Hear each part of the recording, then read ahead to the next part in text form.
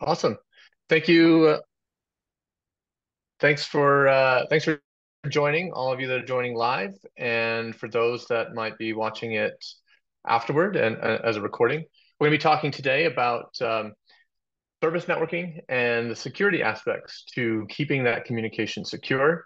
We'll be looking at um, a few different technologies like WireGuard and TLS uh, and how they come together to uh, to provide security in a in a way that's more amenable to our cloud native type uh, architectures and and workloads. So my name is Christian Posta. I'm the global field CTO at Solo.io. Um, I've been involved in open source for quite a long time. I've been working on Kubernetes since before it was 1.0. Same thing with uh, the service mesh ecosystem, very involved since January 2017 or so. Um, I've written a few books on this topic. Now, coincidentally, I just got an email from the publisher last night saying that all of Manning's books are on on sale today. Um, maybe maybe go take a look if you're interested. Um, but I've worked very closely with a lot of uh, solo customers and open source users that are looking to modernize their infrastructure. They're typically moving to some sort of uh, public cloud. They're adopting containers and technology like Kubernetes and some of the models and paradigms that we used for managing deployments and observability, those have shifted and changed, and we're trying to modernize. And now, you know, they're getting to the points around uh, uh, security and uh, and networking. And that's where we're going to focus our uh, our efforts here. So we're going to look at a, an agenda here that you know we'll, we'll talk a little bit about the need for some of these more modern security and networking changes.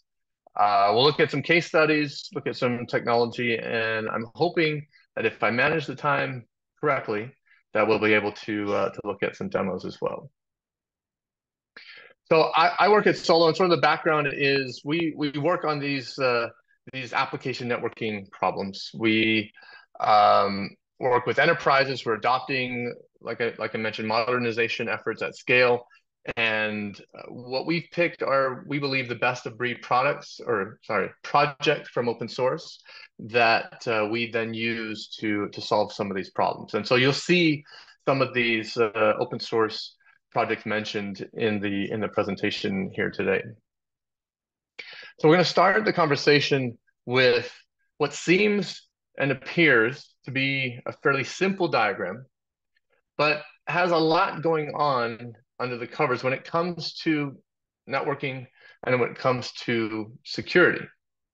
Now, in this case, we're, we're talking about service A talking to service B.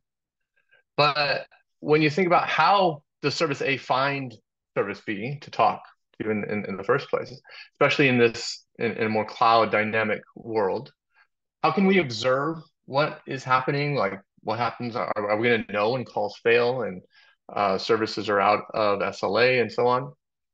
Um, and, and more importantly, who is service A? How can we prove who is service A and who is service B? In the past, we would think about who service A is based on where it's deployed. And we would think about writing rules and policies about it based on where it's it's deployed it would communicate using things like TCP IP and, and so on. And this is still fundamentally in, in place when we talk about cloud native networking. IP is still, when you're talking about things like REST APIs and gRPC and so on, IP is still a foundational unit. Now, in, in previous generations of technology where we would use IP and, and network segmentation we would use complex firewall rules based on these units of identity, where things live, and IP addresses.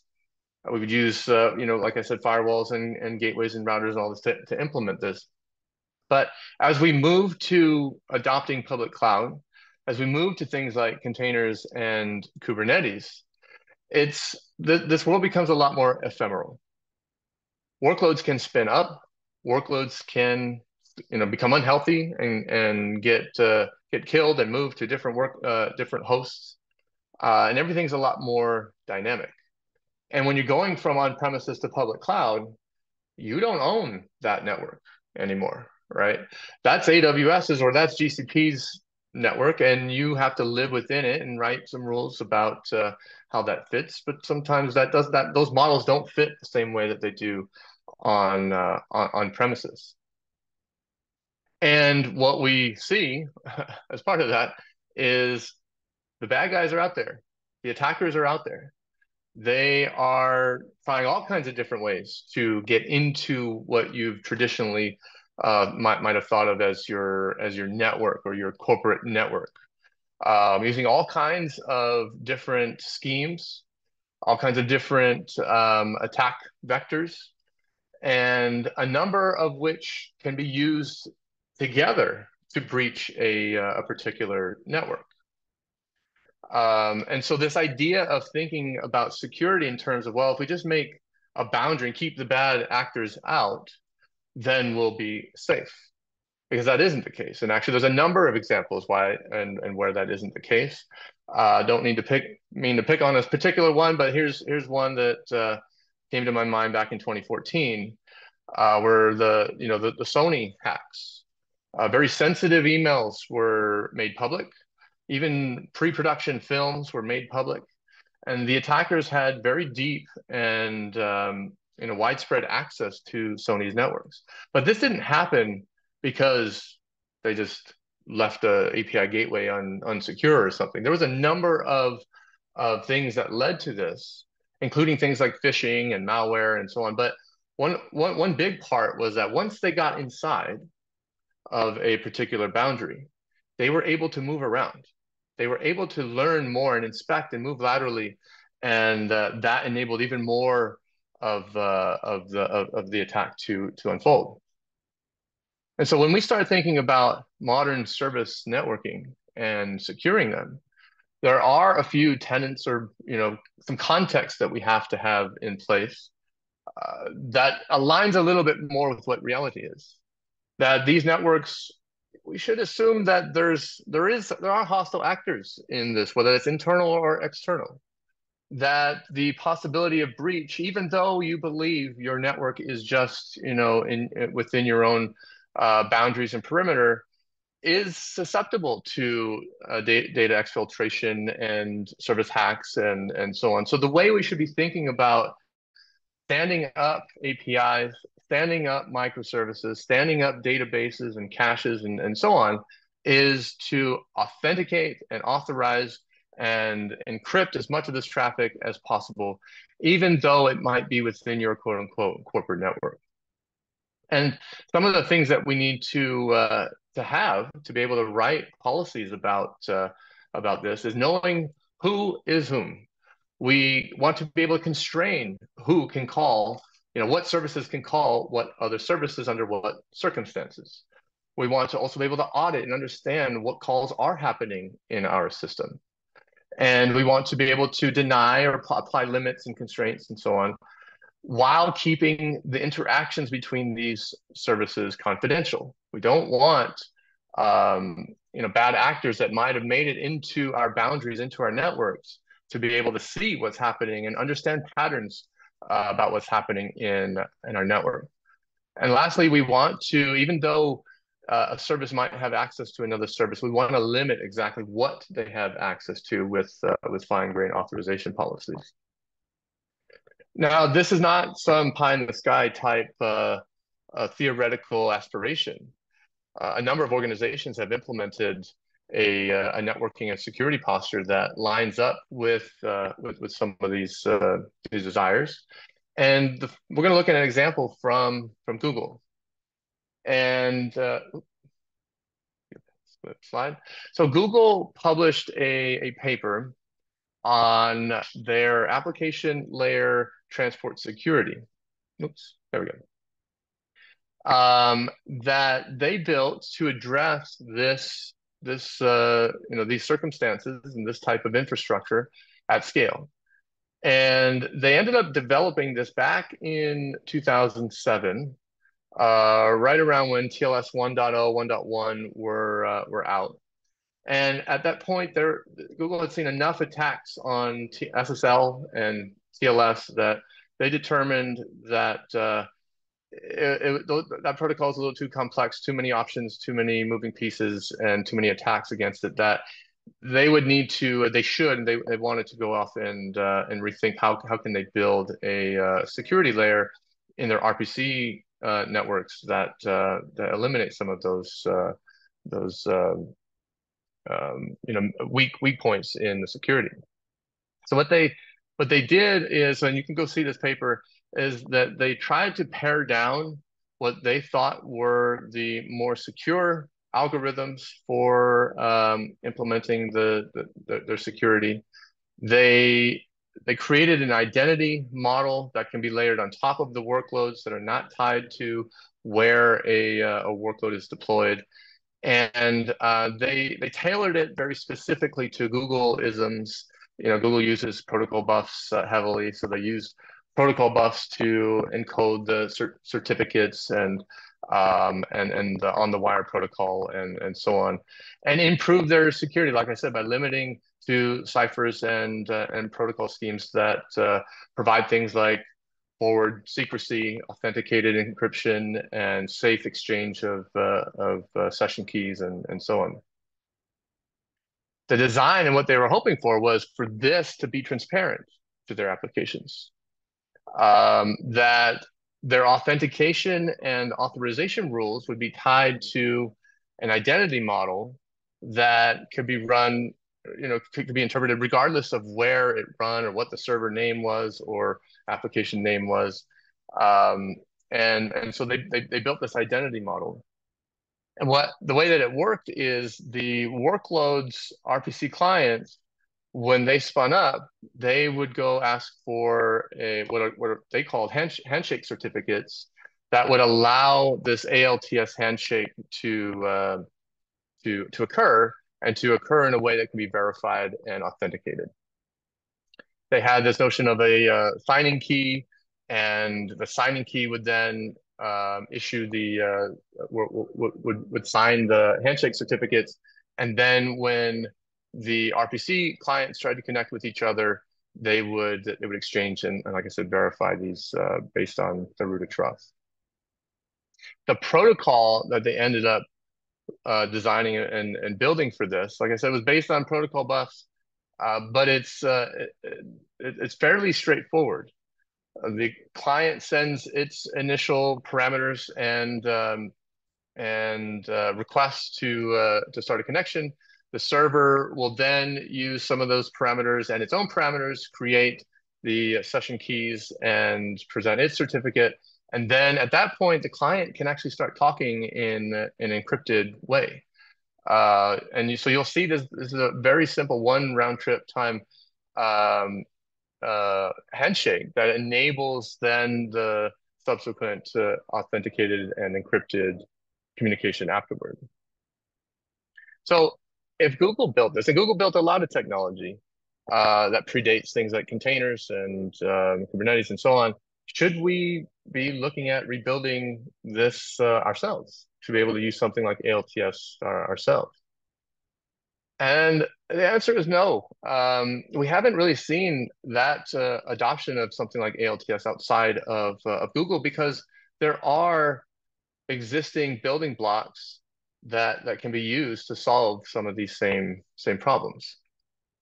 And more specifically, what those problems are, what we trying what we're trying to do is number one, get get security, authentication, integrity, checking, and, and so on into our network communications without having to go re-engineer and force all the applications to change and, and try to do it transparently.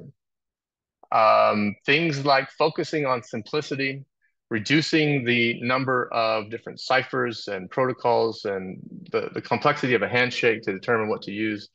Um, let's, let's keep that as simple and focused on safe uh, ciphers as possible. We want I, identity to be the focal point, not where things run. Uh, so we need some some way to assign identity, and there are uh, a number of ways to be looking at this. The first that we're going to start off with is WireGuard. Now, you may have heard of WireGuard. It is uh, it is sort of the a big piece to some of the popular open source projects or even organizations that are built around it. Uh, things like Tailscale and uh, and Cilium, you'll see it mentioned. And what it is is a, a way to encrypt packets, datagrams that are running at layer three to provide confidentiality between uh, services and do it in a way that's transparent to the applications. So it actually, WireGuard lives, if you look at the at Linux implementation, it lives as a kernel module. It is focused on simplicity um, versus alternatives like um, like IPsec, for example, which can be very complex. Even if you just look at the number of lines of code in the in the particular projects, um, it actually uses a fixed set of uh, of ciphers and, and and cryptography. Whereas you, you see other things like TLS where you can negotiate a bunch of stuff, it, it actually uses a, a set of fixed ciphers. Uh, it doesn't try to get too creative with how it encapsulates this encryption. It just puts it into UDP packets. Um, and you know, it, it allows the uh, the WireGuard components to focus on doing what it, it does really well, and then the configuration, some of the pieces like how you exchange public keys and and so on are expected to be done out of it. It doesn't try to con conquer the entire world like uh, maybe some of the other implementations do. But if you want to look at uh, an example between two hosts, um, WireGuard can be set up and configured using similar tools that you would for other network interfaces. So things like the IP CLI or if, ifconfig. And all, all you need to do is give a, a WireGuard instance the public keys and the IPs which those are assigned into uh, into a configuration, and then WireGuard does the rest. It will um, it will automatically encrypt the uh, the traffic going over this tunnel, and it will use it. It will it will encrypt it using um, very strong and, and known um, um, curves and ciphers and hashing algorithms that um, are known to be safe and uh, known to be performant. The uh, the idea here with WireGuard, however, is if there is a vulnerability found, then don't just continue to support it. Just you know upgrade and and move to something that there are no vulnerabilities uh, known. Um, and this is uh, generally, you know, from a simplicity standpoint and from a security standpoint, uh, tends to be a good thing. However, there are some downsides to uh, to WireGuard. Uh, being able to upgrade everything all at once is uh, is the could be could be difficult, and uh, the implementers of WireGuard have, have made it very clear that they want to keep it. Uh, they want to support one set of uh, of ciphers and, and algorithms at a time. Maybe you know maybe they make some leeway for upgrades and so on. A, a, a bigger um, challenge is that WireGuard is not FIPS compliant so if you're in a uh, an organization that needs to support FedRAMP type workloads or um, uh, you know very you know, working with the U.S. government that requires FIPS compliance, um, you know this this could be a, uh, a, hindrance, and and it probably won't become FIPS compliant. Uh, NIST and the federal government are pretty um, let's say let's, let's say they're bureaucratic about how they pick what uh, what what ciphers they want to uh, standardize on, and the process for doing that, the um, you know the, the, the roadblocks for doing that are actually quite high, and there doesn't seem to be any interest in, from the WireGuard community in doing this. Um, going going through this uh, this compliance process, so it's likely FIPS will uh, uh WireGuard will not be FIPS compliant going forward. And the last piece is that WireGuard is fantastic technology. Um, and I do want to point out that just because it's not FIPS compliant doesn't mean that it's insecure in, in any any way. But it doesn't do things like service to service mutual authentication or identity.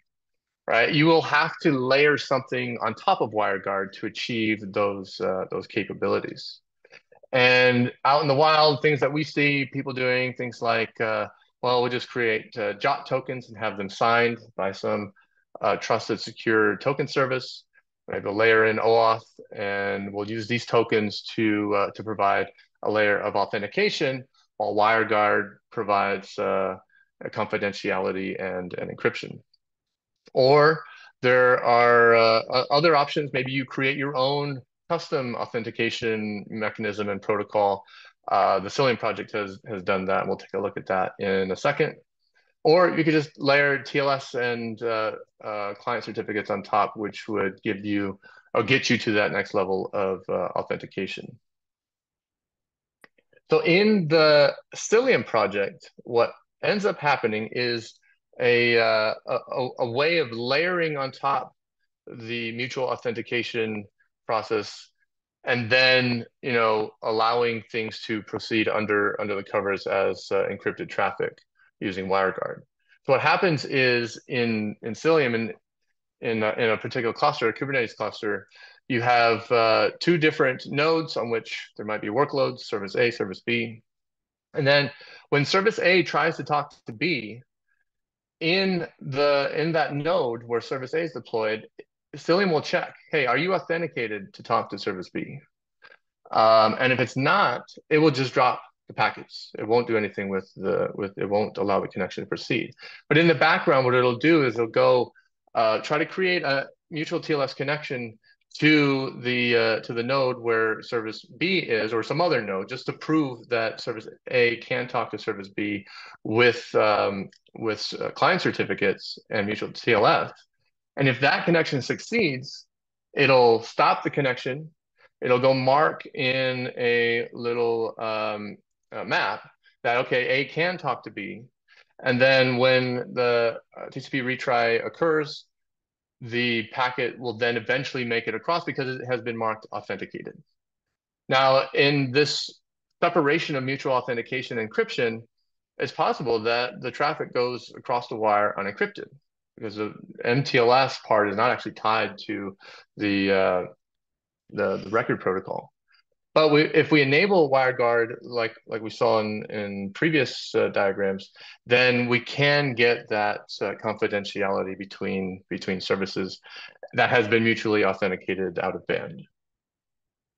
Right. So that's we we we we can achieve a uh, a level of um, of security with an approach that builds on top of WireGuard. If we take a look at TLS, transport layer security, um, we can see an alternative, right? Because TLS implements things not at the IP or layer three level. It implements things much closer to the application at uh, TCP level where you know about ports and sockets and, and this type of stuff.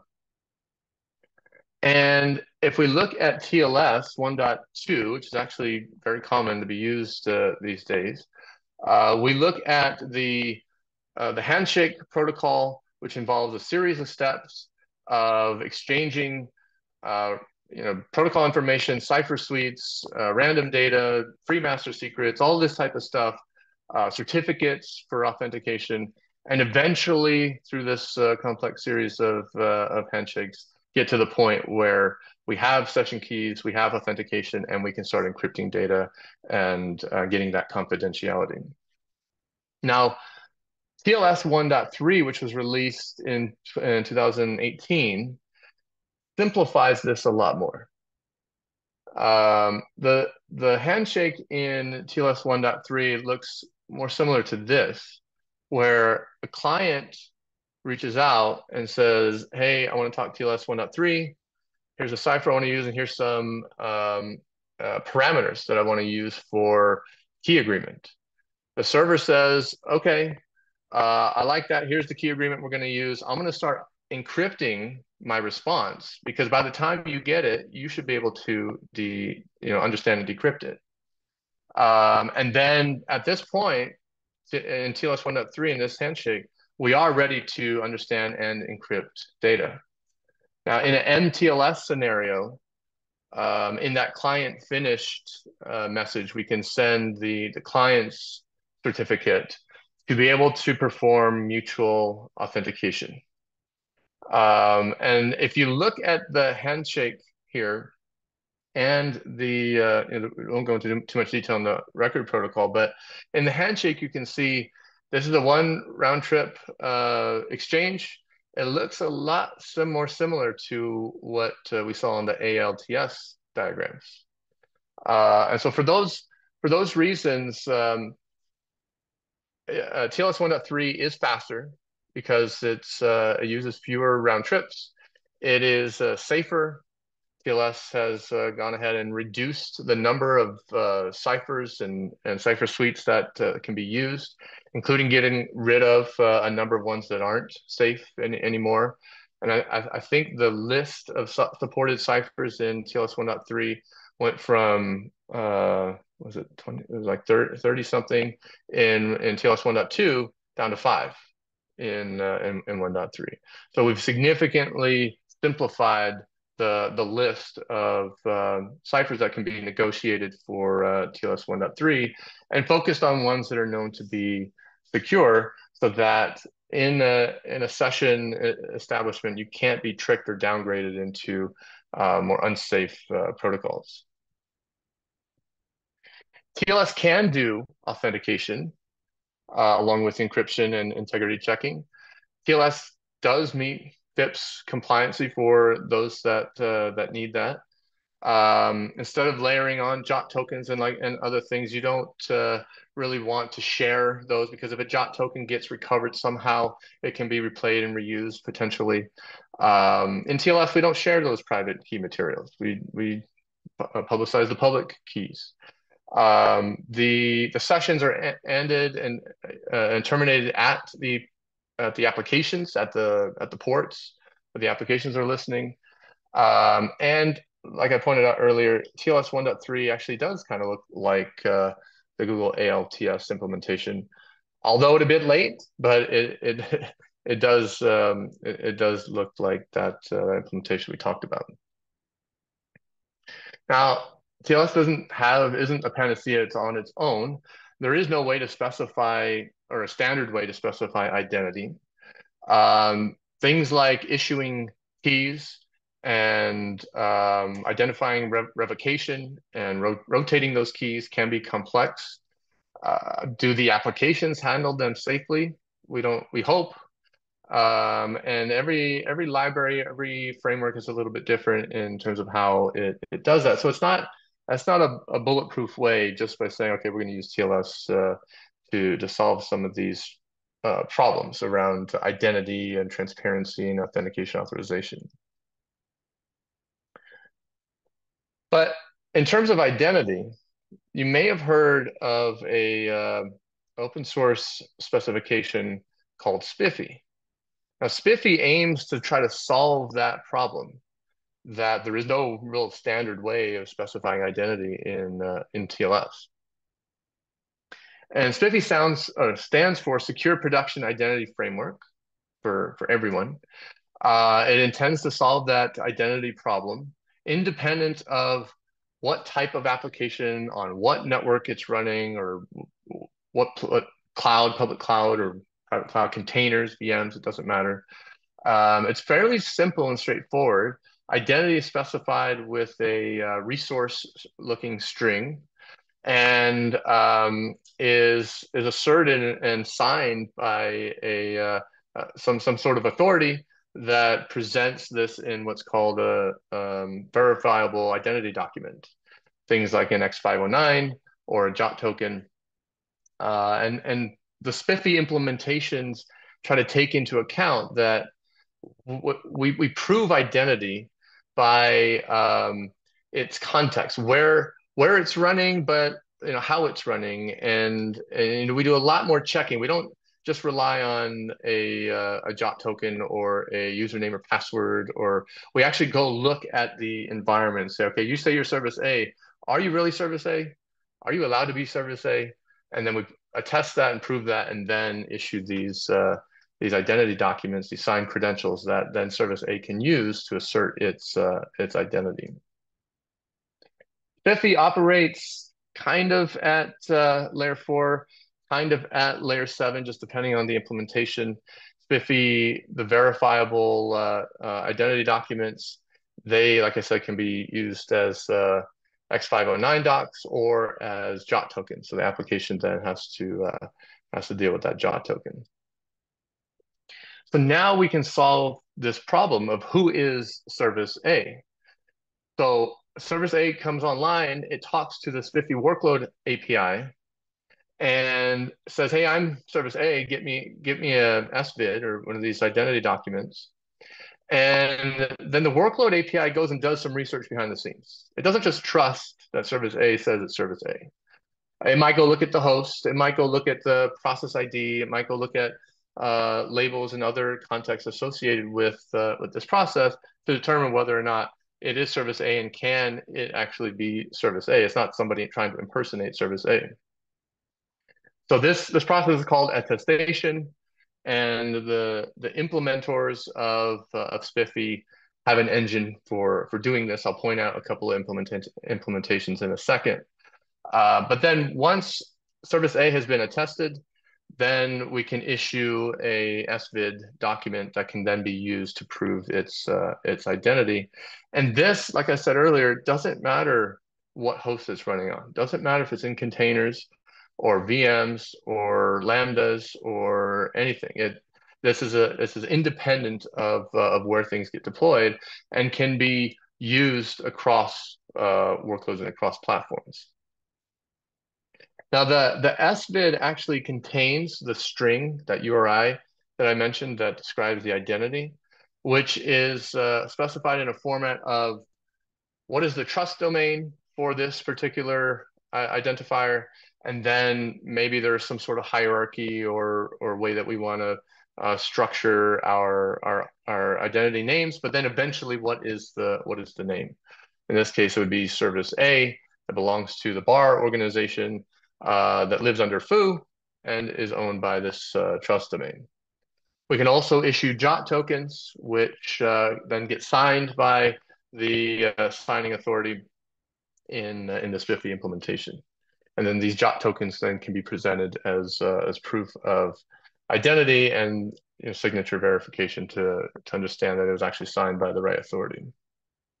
Now, if we use the X509 documents for our SVID, we can plug those in to our TLS 1.3 implementation and now get authenticated and secure communications between uh, service applications or, or, or APIs or microservices.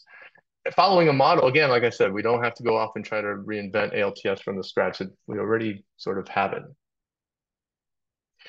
Spire is a uh, implementation of the SPIFFE spec.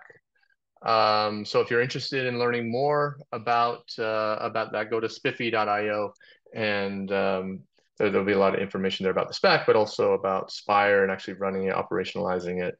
And uh, I know at, at Solo we use uh, Spire to uh, to implement identity and workload identity across uh, workload types. So now, what about? So we we covered the uh, you know encryption confidentiality. Uh, there's a few different ways to do that. Authentication, identity. You know, we talked about that. Now, how do we bring this together and do it in a way that's transparent to the applications. Because now we know who service A is, but we need a way to use those identity documents in a TLS 1.3 um, uh, communication and uh, do this in a way that doesn't force all the applications to have to change. And an example of doing this is in a recently uh, well, not, I guess it's not that recent anymore, it was a year ago where we, we announced um, the sidecarless version of Istio. So Istio solves this problem and has solved this problem for a number of years by injecting a sidecar next to each of the applications.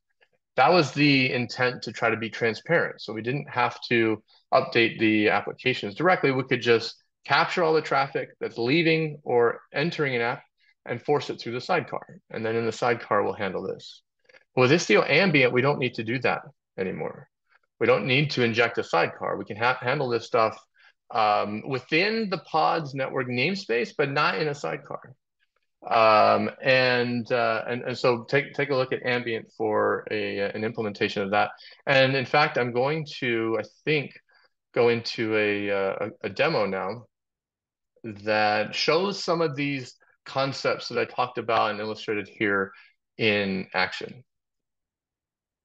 So first, we're going to take a look at our environment. There's a lot of stuff going on here, but um, what we're going to take a look at is in the default namespace, we have a set of apps. we have the sleep application, and we have the Hello World application.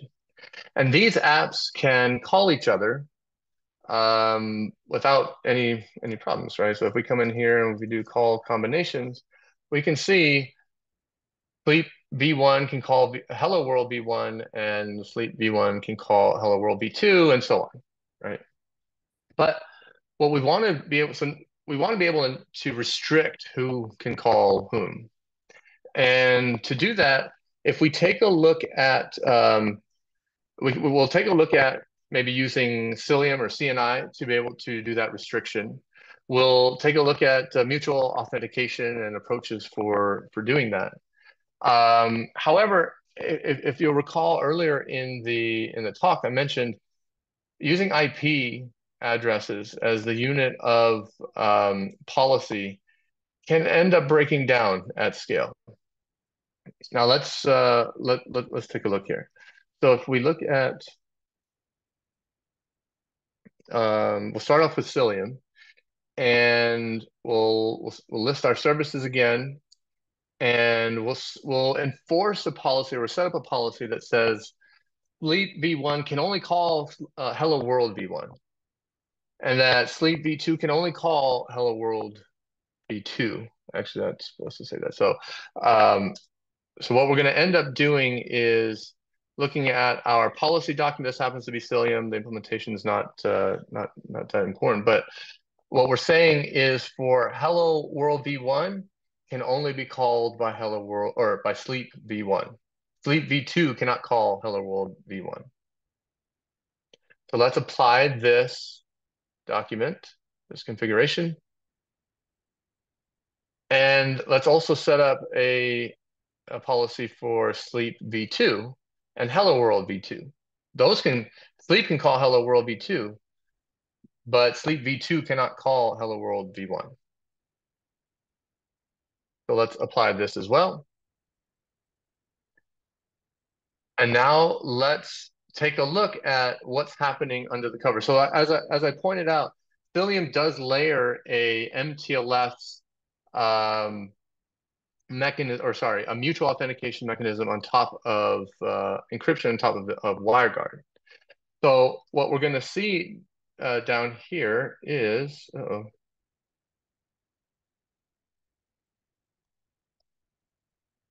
oh I hope I didn't mess up the demo script here.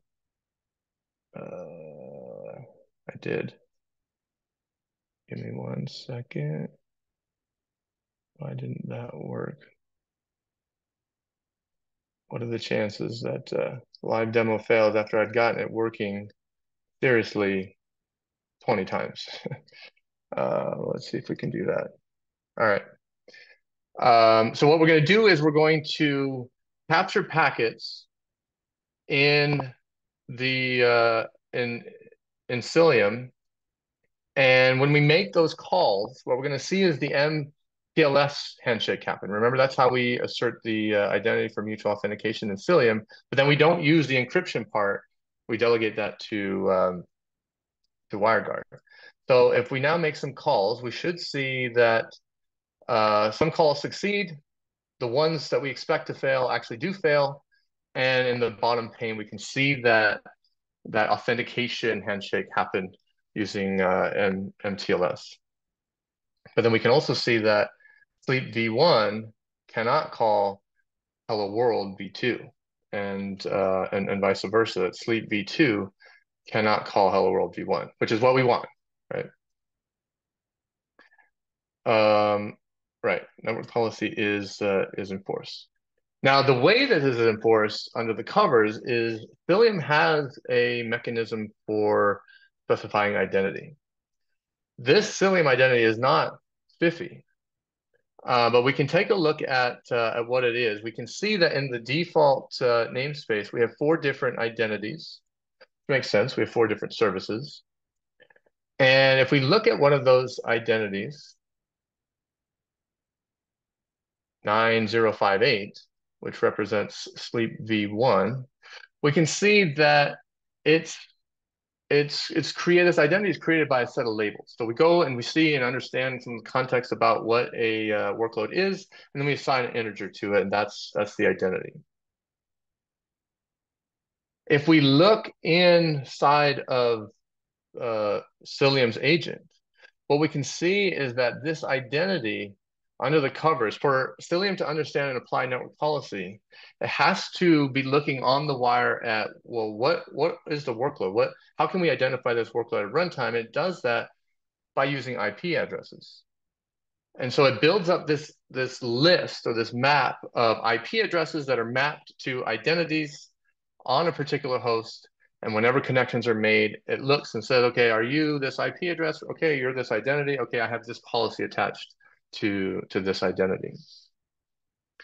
Now, what we're going to do here is we're going to scale up the number of, uh, of sleep uh, v1 replicas. And what we're going to take a look at is how this identity mapping with IPs is not as uh, as foolproof as as we want it to be. So we'll give it uh, a second for our scale up to happen. So we scaled up sleep v1. And if we look in this cache now, we can see for this particular identity, we have a number of IP addresses. We have a number of, uh, let's come over here. We can see Sleep V1 services, um, each with their own IP address, but they're all mapped to this one identity in, in Cilium. Now, what we're going to see here is this identity and this mapping between IPs is susceptible to some types of failures right? So let's simulate in an, uh, a scenario where the node on which some of these workloads run can't, for some reason, communicate with the Kube API. Now, this can happen for a number of reasons, um, network issues. The um, agent is inundated with updates and is slow or doesn't have enough resources, can't, uh, can't process these. The Kube API could be slow. Maybe one of your cloud providers is doing something on the back end that's uh, causing some issues with the, the Kube API to be slow. Uh, so what that means is the node that is watching for pod changes and IP address, all this stuff, that's trying to map to the Cilium identity could get out of sync. Right, it's intentionally Kube API is intentionally or has been designed to be eventually consistent and can get you can get into scenarios where things get out of sync. So now what we're going to do is we're going to we're going to try a few things here to see if we can get the uh, IP address that was assigned to Sleep V1 to get recycled and and assigned to Sleep V2. Because if that happens, we could potentially Sleep V2 could call Hello World V1, which it did in this case. We we ran a test, cycled some IPs, and in fact, a Sleep V2 IP address did get assigned to, uh, sorry, Sleep V1 IP address got assigned to Sleep uh, V, V2, which then under this type of uh, mapping to IPs for identity can get tricked. And we don't, we don't want that, right? So let's take a look at uh, a, another approach. Instead of delegating the uh, policy to an, an identity that's mapped to IPs, why don't we enforce policy that's tied to identity that is asserted on the connection itself? And that's what we're going to do here with uh, with Istio Ambient.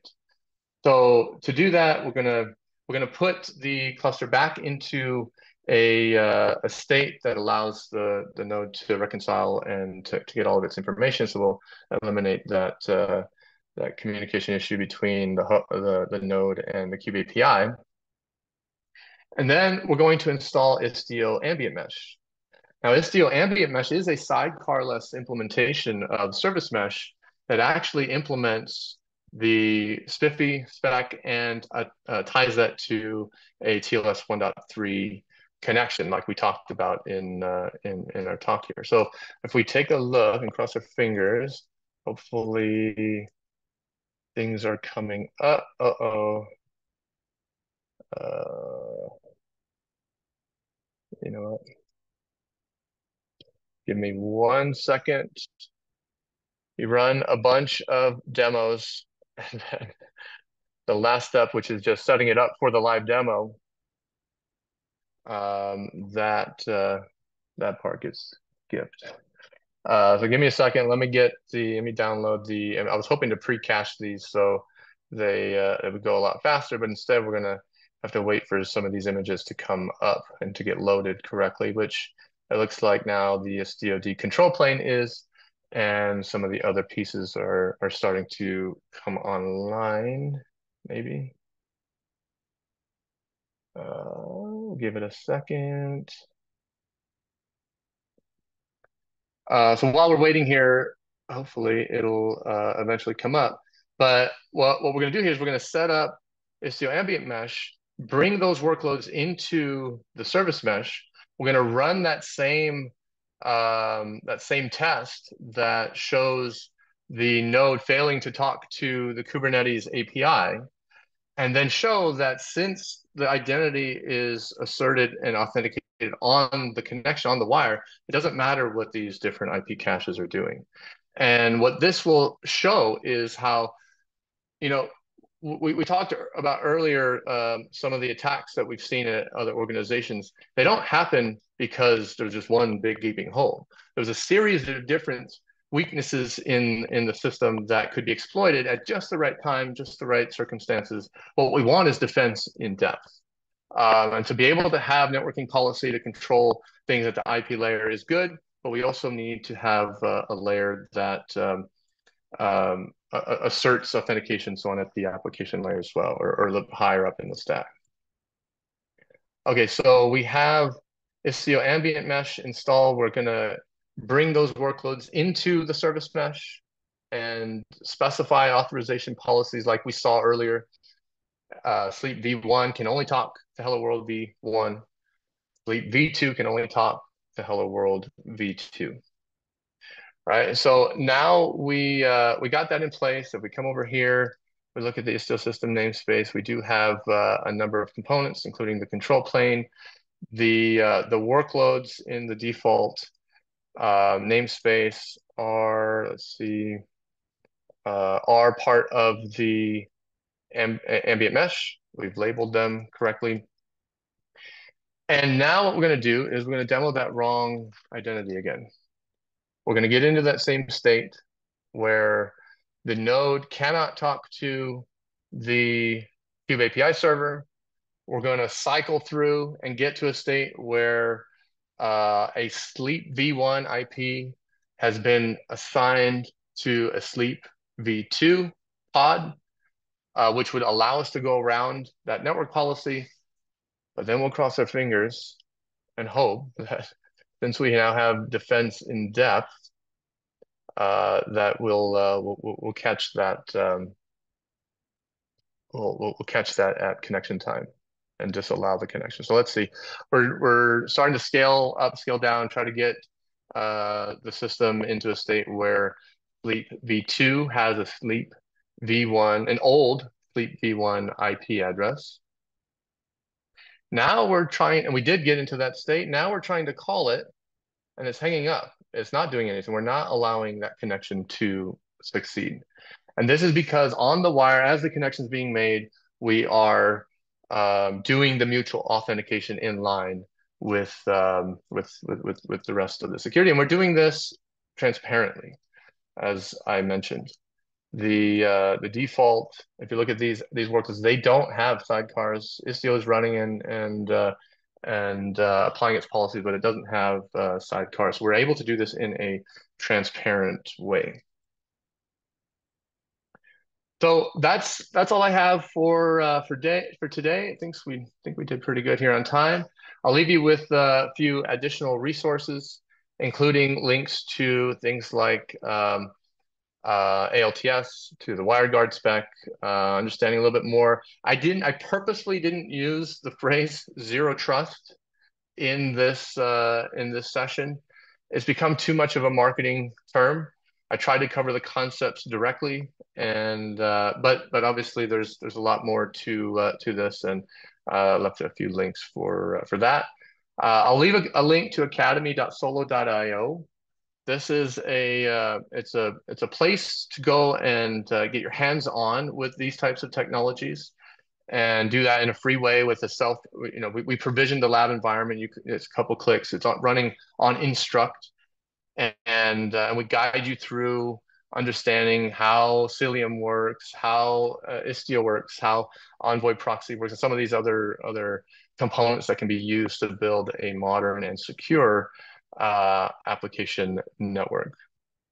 So with uh, with that, I uh, I want to say thank you. I want to I'll leave my contact information here, both email and uh, Twitter uh, address here or handle here. Reach out to me anytime. Happy to take questions offline. Happy to take a look at uh, people are asking uh, for a copy of the slides. Yes, the slides will be made available. Uh, people are asking about a copy of the demo. Uh, yes, that's already on GitHub. I will. Uh, I'll make sure to put a link in the slides to um, to to to the demo as well. Yeah. So with that, uh, thank you all for joining. And uh, like I said, reach out if you have follow-up questions. Slides will be available, and hopefully this was worth uh, your your time here. So thank you. Thank you so much, Christian, for your time today, and thank you everyone for joining us. As a reminder, this recording will be on the Linux Foundation's YouTube page later today. We hope you join us for future webinars. Have a wonderful day.